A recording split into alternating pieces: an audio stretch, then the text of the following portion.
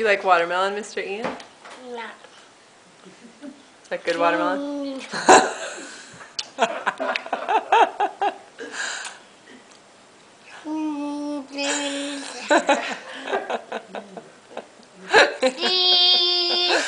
You silly man.